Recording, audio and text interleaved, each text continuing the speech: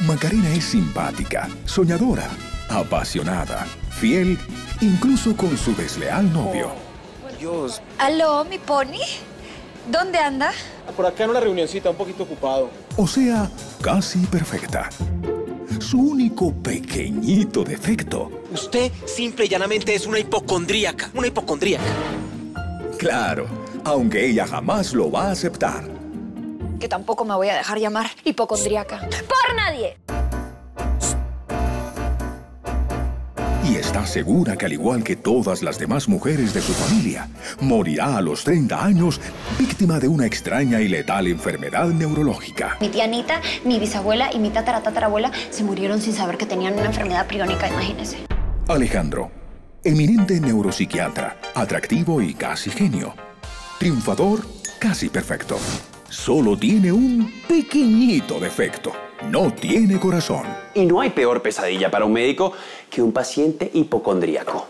Oiga, Alejandro, ¿usted es así con todos sus pacientes? Porque si es así conmigo, que soy su mamá. Pero la vida le dará una cucharada de su propia medicina. González. Yo soy. Señorita González, usted está enferma. Yo no creo que le queden más de seis meses de vida. ¡Le quedan seis meses!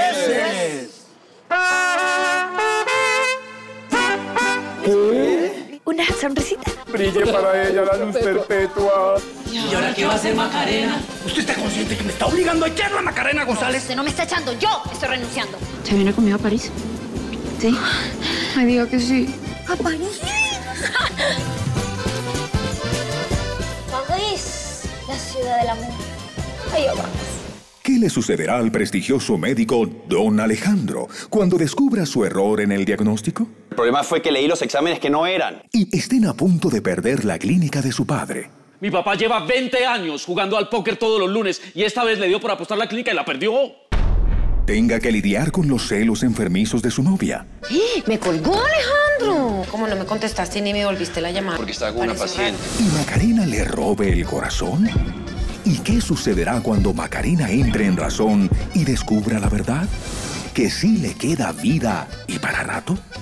Con un reconocido elenco y un contagioso sentido del humor, La hipocondriaca es una historia diferente, saludable para el alma, que contagiará a la audiencia de amor casi enfermizo por sus protagonistas ¿Sabe qué es lo más triste de todo?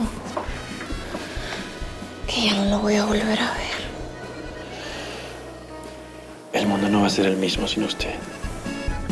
y sus alocadas situaciones. Una relación de opuestos que se complementan a las buenas o a las malas. Una mirada fresca a un mundo donde la mejor cura será el amor.